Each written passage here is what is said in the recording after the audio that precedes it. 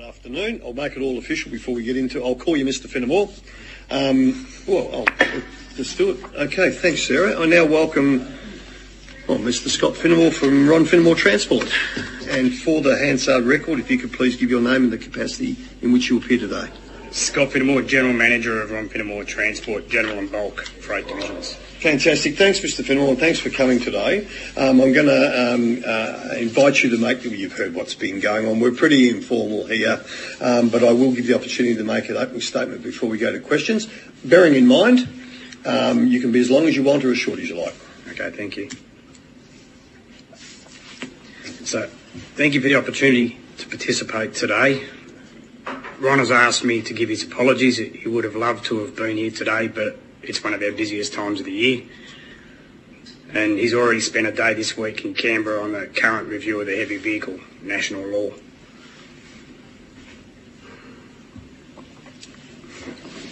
I'm, me, I'm the general manager of the general freight and bulk contracts at Ron Finnemore Transport. This is a hands-on role, which means I'm involved in the day-to-day running of the business. Basically, that consists of talking to customers, managing freight, drivers and trucks. We mainly operate in regional areas and along the eastern seaboard. I manage 150 of the total of 250 trucks. They're mainly B doubles and performance-based standard equipment. They've got an average age of 1.8 years. This involves over 300 drivers, and the drivers are the lifeblood of our business. Um, the 250 RFT vehicles do between 55 and 60 million kilometres a year. The, this is your 200 vehicles. Yeah. 100, sorry, how many kilometres? I manage 150 vehicles. Yes. And the 250 vehicles do between 55 and 60 million kilometres a year. Okay, yep. The RFT approach is uh, safety is a key focus in our business, and and we um, are committed to doing everything safely, reliably, and cost effectively. With safety our number one priority, we have made extensive investments in systems, technology, and training, coaching to ensure we operate at the highest level, safest level possible. I'm happy to expand on this point later, especially investment in our trucks with fitting the fatigue, fatigue and distraction advice, um, advice, devices. We think these devices are a huge and positive game changer in improving fatigue management and road safety. Many other operators are doing the, using the systems and doing likewise. In industry improvement, from a broader perspective, I've been involved in the industry for about 40 years and I've witnessed the massive improvements in the industry safety practices and culture over the last 15 to 20 years. Um, I think the majority of the industry owns the safety agenda as much as possible in the way they operate today. This change in industry culture, the investment in better roads, the greater active role industry is playing with governments, uh, and the introduction of chain of responsibility have, in my view, been the main drivers in improving industry safety. At the same time, the freight task has kept growing with urban freight tasks a growing challenge. We don't know how long it's going to take. For an example, at the moment, we don't know how long it's going to take once we get to the city to get to get to the delivery point, how long it's going to take to unload and reload, particularly in Melbourne and Sydney, and that's been covered with the previous speakers. Mm. So, my list of challenges to take the next step in improving safety, we need to get some broader settings right to make sure we can continue to progress better safety outcomes. Sitting in my shoes, the main safety challenges I see are as follows. Number one, we need to get the law right in the current review. So we are focused on managing high risk rather than just the compliance and administrative controls, counting time by five minutes, etc. Um, complying is not necessarily safer and better rewards and flexibilities are required for those who, for those of us who make a safety investment. So better rewards, what was that other word, sorry? Um, my, my, my shorthand's not very short. And flexibility. Flexibility, okay, tar. And there's been previous examples from previous Yes, but there has not. Be keen flexibility to, requirement. keen to get your thoughts on that too, yeah. A more, a more practical skills-based approach needs to be developed for truck driver licensing. We need to encourage and support young people wanting to join the industry straight from school, especially drivers in regional areas to help address the current critical driver shortage. We currently lose these people who want a career in our industry. There is no apprenticeship for them to enter for us to embrace, which we've covered. Um, number three, the law to be more flexible and supportive of industry's huge investment in safety and equipment technology. We believe this investment and the proper use of the technology is the key to continuing to improve industry safety. But unfortunately, some some want the old and outdated enforcement approach to continue, but the bulk of the industry isn't like that anymore. So it's um, it's very important to us that people who invest in the safe, safest equipment and technology can be recognised. Mm, yeah. Number four, governments also have a key role to play collectively in being part of improving industry safety. Whilst truck, truck stops availability has improved a little, we are still a long way from what is needed, and local councils are making it harder and harder for drivers to have access to the basics, toilets, food, rest stops are shrinking, um, and as councils put up barriers, no parking signs and load limit signs, you can't ask us to be safer if government doesn't do their bit as far as access. Yeah, Number five, getting rest in the right spot is made harder by the current and highly prescriptive counting time approach in the law to managing driver safety and fatigue. We lose many good drivers simply because they can't afford to lose their livelihood for a simple counting mistake. Um, this isn't managing fatigue, this is bureaucracy gone mad. Number six, the chain of responsibility has had some positive impact on the supply chain, but we have a long way to go. Delays in and not knowing when at distribution centres is still one of our biggest safety challenges. The not knowing causes drivers a great deal of anxiety and stress, and we all know what it's like at the airport and you're catching a plane. So um, we all know what it's like at the airport when our flight is delayed and we don't know when we'll get home. I imagine there's a lot of drivers won't get home tonight because they've been delayed during with the risk. Hence what Chris Sure. Chris quoted earlier. Yeah. Um, what drivers have to face with day to day um, is the issue is one of the underlying safety issues. Number seven, my thoughts on other specific issues you have asked about are as follows. We're a company that owns our trucks and employs our drivers. We have an EBA with our drivers and with TWU. Less than 3% of our work is done with subcontractors. Um, this is only on an as, as needs basis. Um, we've deliberately we've stopped working with companies that won't adopt reasonable payment terms of 7, 14 or 30 days, being the absolute worst case occasionally. Um, so that's it. I'm now happy to discuss any aspects of the terms of reference, noting that I won't be able to comment on all areas outside my responsibilities. Mr. Fennell, I really appreciate that, and I'm not going to put you in a position where your client's business, I wouldn't do that to you. And, and uh, if you can pass on to Ron, thanks. Sorry he couldn't be here. I caught him at the ALC ATA. Someone hadn't seen him for years, and he's looking younger each year. So there you My go. impact. He's not going anywhere in a hurry, is he? Senator Rennie? No, not really. You- Have you made a submission? No. What you just read there? We might ask you to table your, we've got you on record, but we will table your Okay. opening statement as well too. No, that's it. That's fine. Okay. Now, look, Mr. Can I call you Scott? Yeah. It's been everyone's first name all day, and as long as you call me Glenn. Okay, thanks. Uh, Scott, I'm very keen to hear from um, one of the uh, reputable operators in the industry. There's no argument about that. Um, before I leave today, I've got to ask you why Ron Finnemore's transport's red on top and green underneath. Well, there's a few jokes around, but it looks good. You, you obviously get off very one of them. Anyway, let's leave that at that. Um, that's a throwaway line. Now, I notice that you've said that you've strategically taken the uh, business decision to not uh, cart freight for clients who want to go beyond 30 days. Is that correct. How relevant or how pre- prevalent in the industry is the stretching out of payment terms now? Is it more so now, more in your 40 years? Has it got worse? Has it been like this for ages, or is it getting better? I think it's worse and it's very prevalent.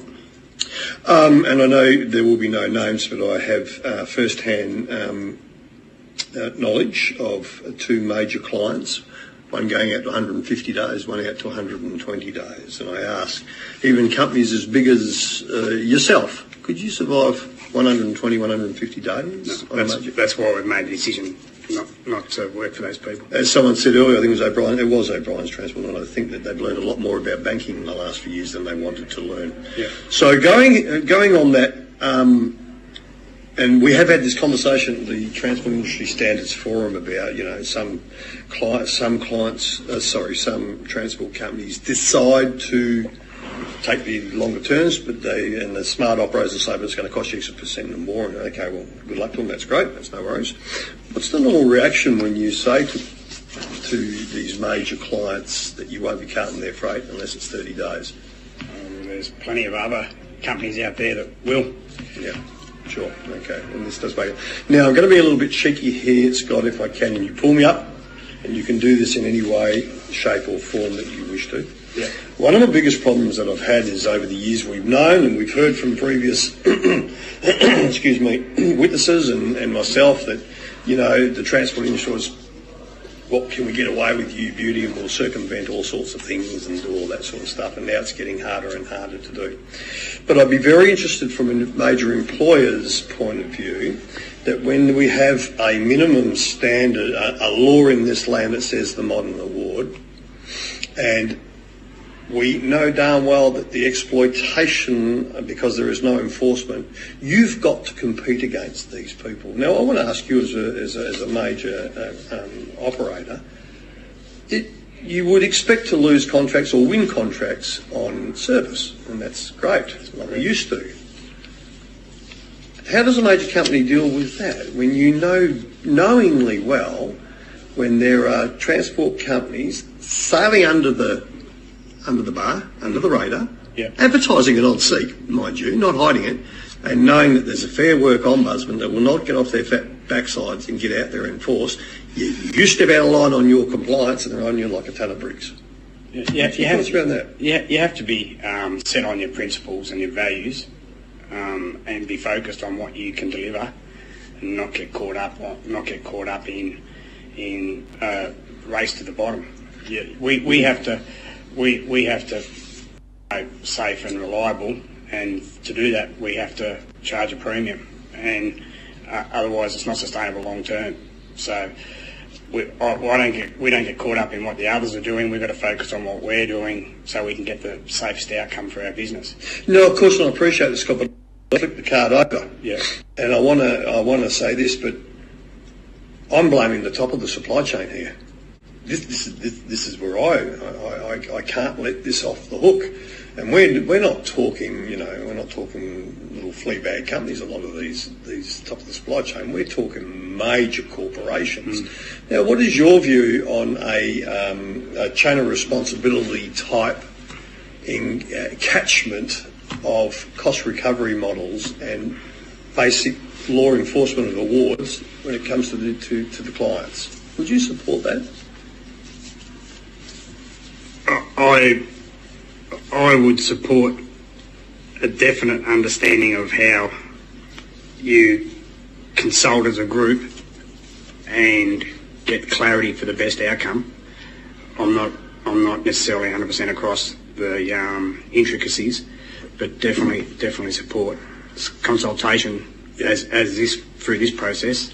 It could have been an unfair question me to throw at you as a, as a major operator, and that's probably better left to the associations and such. But I think that we, as a as an industry and a nation, we have to have this conversation now.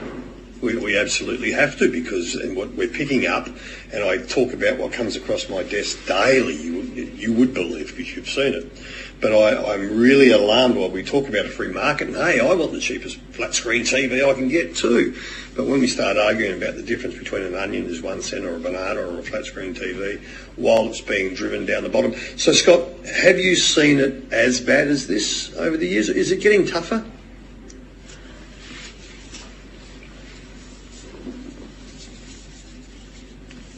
Yes, I, Okay. I think I think it's getting tougher.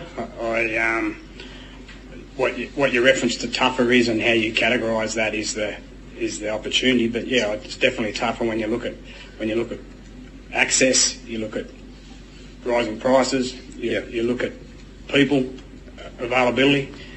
It's definitely definitely tougher. Sure, and there was someone who said to me in the West not long ago, a transport operator, said to me in the West that our difference between a profit now and, and, a, and, a, and a reputable transport operator, uh, line haul, uh, their profit margin now is either if there's a headwind or not. And that's alarming. That, that's really scary. So look, I won't embarrass or try to, or not trying to embarrass you, but let's walk away from Finnemores and let's talk about industry stuff um, and the things that we, we should be speaking about as an industry, things that can be controlled. My my view on this, there's a lot of low hanging fruit that can fix up this this this industry. When I say fix this up, make this industry far more viable, sustainable, safe, and profitable. Yeah. And I talk about government relations, and you touched on, I think Scott, you touched on the ridiculousness of uh, fines and all sorts of stuff. But let's go to the compliance side.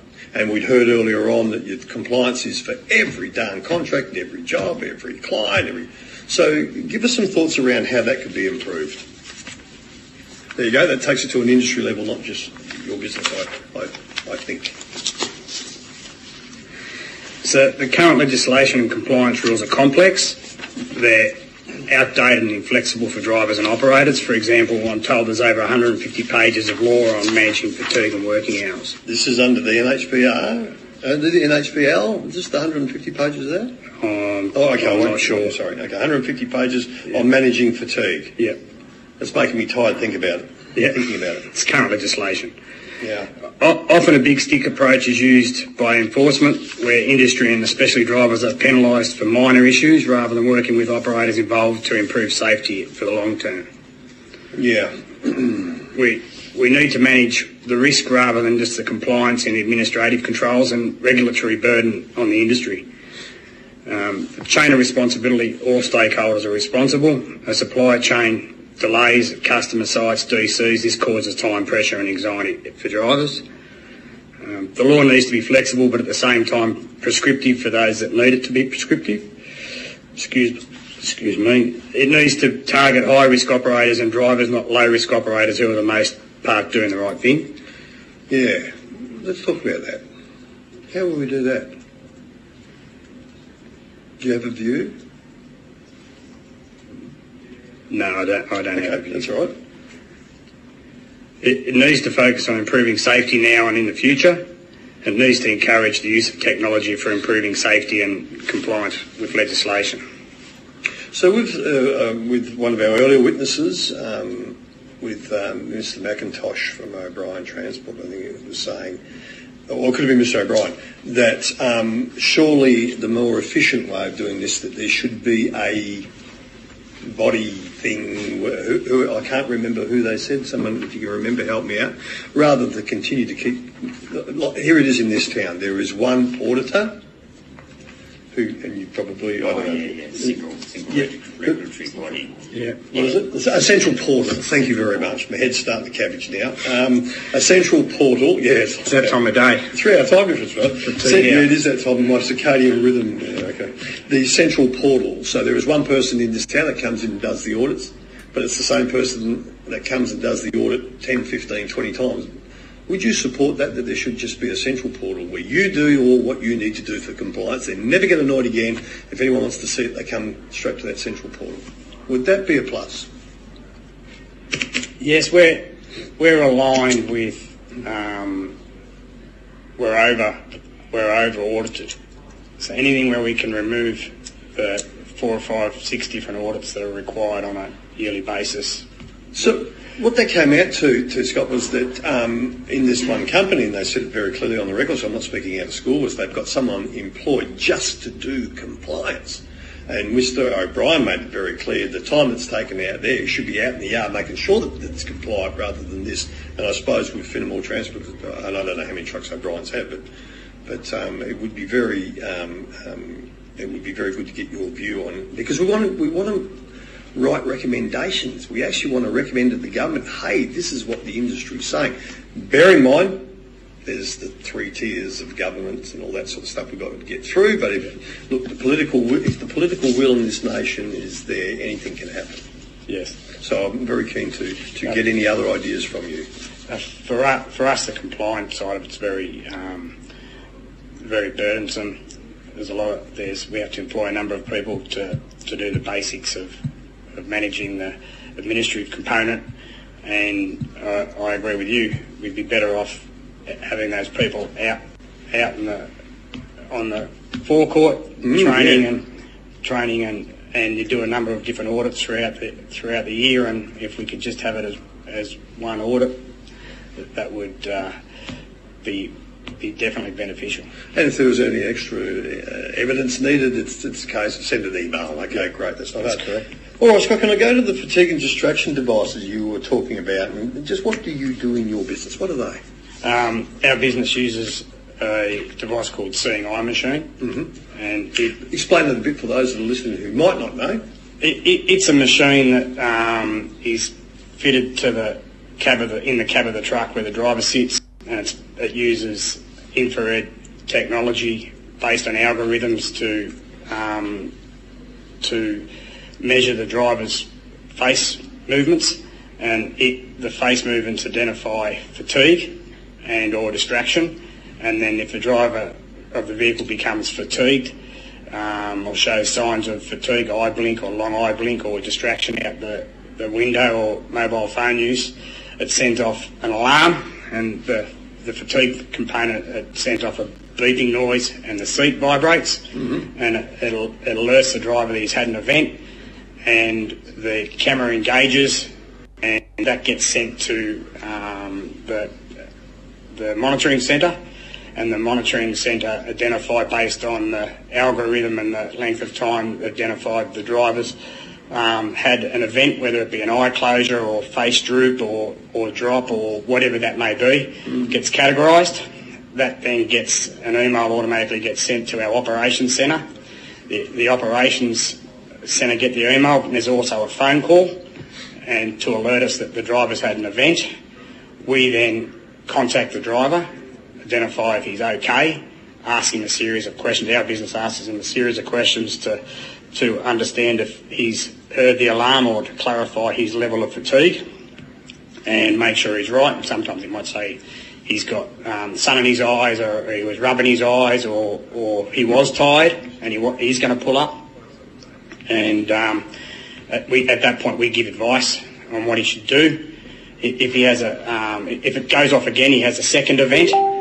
Um, we then tell him to pull up and make sure that he, he's had the event, he needs to pull up and have a rest. So for us, it's been very rewarding to making sure, because you can, I'm more tired Monday morning after stop for a, stop for a weekend, having to go again after an hour's work rather than Friday afternoon. So that for us, it gives the drive, it gives us some opportunity to manage the driver's fatigue. So, Scott, how was that accepted by the? By, I know you've got 250 trucks, but you've obviously got more drivers than you have trucks. So, Yeah. how was that accepted by the workforce? Very positive. Good. Yeah. Good. Um, drive, drivers, um, re- renowned drivers w- want to do things right. Drivers want to be seen as professional. They don't want to be dangerous and they, they don't want to be fatigued. Absolutely. Um, you, you ask the majority of, of drivers, they'll have their own telltale signs of fatigue. And predominantly that's, they come to that point and then they, they'll pull up as a result of their behaviour. Um, I get itchy, itchy legs. Just, Yeah, so I sure. want to pull up. Um, and as a result, they, they've accepted it very much. Some of them have changed their behaviour. They pull up 15 minutes earlier, but yeah, they're very supportive of it. So, Scott, this was an, an initiative, and of course, the insurance company couldn't make give you a deduction in your charges for doing that. No. Oh, Oh, you didn't have to answer that. Yeah, no, but what I'm sorry, but I'm, that's me just being devious, having a crack. if, if you're safer, based on how insurance works, whatever whatever you invest in as safety, if, if you get a lower premium, you get you get the reward, don't you? So, Yeah, This is just my side thing, saying the insurance companies have a real role to play here in our, in our Okay. industry. Um, but coming back to that then, Scott, that so it's accepted. So this is something Finnemore's, uh, Ron Finnemore Transport did off your own bat? Did you do it in conjunction with your clients? Uh, No, we did Did it- you get we- any assistance from government? no, we did it off our own bat. We're, we're, we're always looking at the newest technology, how we can keep our get our people home safer, how how we can what's out there. We always go. We tend to go global and see what's available. So. So, the, so do you retrofit retrofit these into existing vehicles or Yes. really new? So that'd be a cost. I'm not going to ask you how much. Definitely a cost. Definitely. a But it, it's um, it's definitely worth it based on the, the safety outcome. Now, being very careful, could I get a rough estimate? Uh, No? Okay, no, I didn't. No, I'm trying anyway. All right, okay. I'm happy for the No, no. provider to contact you and give you a quote. Yeah, yeah, that's fine. Actually, if they can send us something through, I, I, I would be interested to see because, uh, you know, I'm happy for you to contact them and you send me the contact details. Okay. Now, you also talked about broader settings and you went for better rewards and flexibility. What does that mean? For what was that? Oh, Sorry. I'm sorry, that was the compliance. No, no, sorry. I've written down the fatigue and distraction devices, the broader settings. Don't worry about it. Then I wrote compliance, better rewards. So the broader settings. So what are the broader settings? What other broader settings do you do? in safety. Yeah. So, Uh, you know that fly that was annoying you three minutes ago? Yeah. Well, the bugger's Yes. over here now. Still here. Um, safety. So, so we're strategically our fleet's 1.8 years old on average. Um, when we buy the fleet, we, we aim for the important criteria in that purchase is the safest equipment available. I call it the hamburger for the lot. We buy the safety. Yeah, love that we- terminology, yeah. we buy the safety, buy the gear with the highest ranking, all the safety features, and we have it so it can't be turned off. So you can get safety equipment now that can be switched on and off. Your lane departures, you've got probably got a, uh, all got the safe cars. Well, our equipment's all got all the gear turned on, and uh, we invest heavily in that part of it. Okay, now one of my one of my favourite things and what I like to talk about, but it's, it's raised itself with every witness today, is attracting um, uh, kids, uh, young people to our industry, and how do we attract women to our industry and all that sort of stuff. Now you mentioned apprenticeships. Yes. Now, obviously, you've got your own workshops and all that sort of stuff. Is that right? Yes. Where you'd have apprenticeships there. Yeah, our, our business is predominantly line haul, so so Yeah. we don't have the forklift operators or the warehouses or the or the rigids.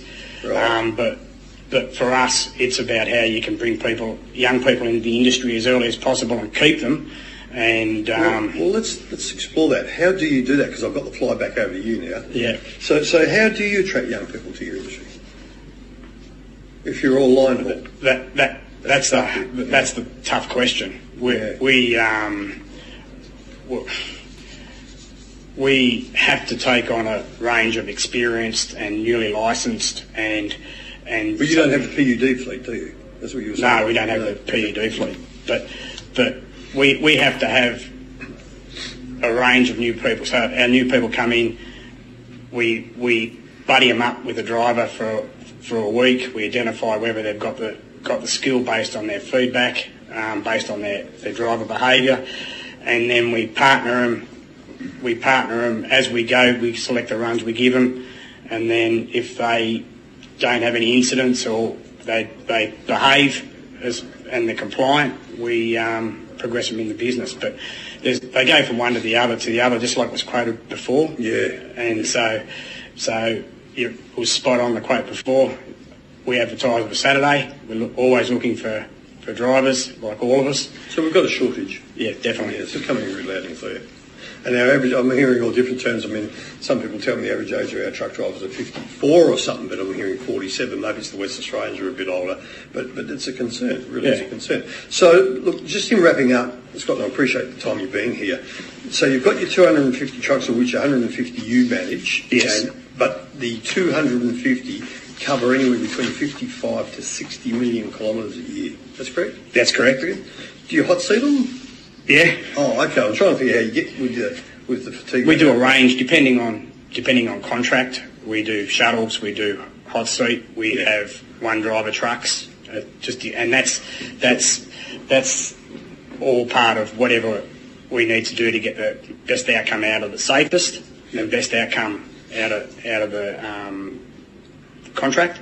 We're deliberately we, we are we're a family business deliberately in Orange, Wagga and Wodonga. Wodonga's our head office and that helps us with our value with people and being regional. We can get drivers into and out of the city and get them back to here and majority, a lot of our fleet drivers are home every night or every second night. Yeah, good stuff. They're, they're not they're not in Sydney or Melbourne being held over. Um, so the intent, as much as possible, we like to get our people home and get them in their own beds. Tremendous, Dan. I did lie. I've got one more question. Um, in terms of the fatigue management uh, systems that we have, AFM and BFM, and then we have Western Australia and other things in between, and all sorts of other things. Uh, one thing that alarms me is, is the inflexibility within the system, particularly here on the eastern seaboard, where I hear stories of drivers become you know one hour or half hour away from home and can't get home. You mentioned that tonight, uh, today, where you said some drivers may not get home tonight because of a something about a DC or something That's like correct. something Yep. like that. So if you had the opportunity to put some flexibility into the fatigue management systems, what would it look like? Uh, it'd have to be, it'd be, we want to aligned around the um, systems, the DSS systems and the systems that recognise, that give you the opportunity to recognise fatigue. And, and for us, the fact that the, the operator's done so many hours work, he, he may feel good and he can't get home. So it's the system for us gives us that assurity um, where The system gives you that assurity. yeah, the DSS system. What, what is DSS? That's the driver safety system that I just spoke. Oh, the seeing eye machine. I call it second- yeah, oh, driver safety sorry. seeing eye machine. Right, got you. Yeah, yeah, yeah. So we, we can we our operators are trained in in identifying whether the driver's fatigued. We have the the seeing eye machine. We we can tell whether the driver's had any events. You use those systems in conjunction with your with your time management and your work work diaries. You you can get the best outcome. So have you had that conversation with the legislators or the regulators, I should say? I think it's currently underway. Sorry? I think it's currently underway. Okay, all right. Yeah, good luck. Good luck with that one because that's the sort of yeah, that's the sort of thing that uh, it does annoy me. I know you have to draw the line because someone may say I'm feeling fantastic, and then if there's an accident, oh my goodness me, I'll get all that sort of stuff. But um, let's hope we can. And I know it's state based, which makes it even harder. But I know I, I think the nation's ready for a, a fair dinkum re-talk about this sort of stuff. It really is. Yes. So, Scott, I don't have any more because I appreciate it. This, you succinctly reminded me it's Friday Arvo and we're not as tired as we were on Monday morning. Is Don't right? want to miss that plane. Yeah, that, that's exactly right. Otherwise, I'm going straight to camera and sulking. So, Scott, can I, on behalf of the committee, thank you very much for making the effort today. I will find out why there's red on the bottom. No, Okay. green on the bottom. Okay. we'll do that off, off camera. Uh, but thank you very much for coming today. We really do appreciate it, and we know where to get you if we need to clarify anything up. Can I also take this opportunity for our, our witnesses that have come today, all of you, from, from other parts of that rather than Albury. It's been absolutely brilliant to hear from you all. I do appreciate it. It won't be the last time I see you all or have conversations with you, I have no doubt. Um, and I also want to take this opportunity to thank the Secretariat, Sarah and Trish. Thank you, magnificent effort as per always, Pat. Thank you, mate, on Hansard and Broadcasting. From behalf of the committee, that uh, that concludes today's hearing. The committee now stands adjourned.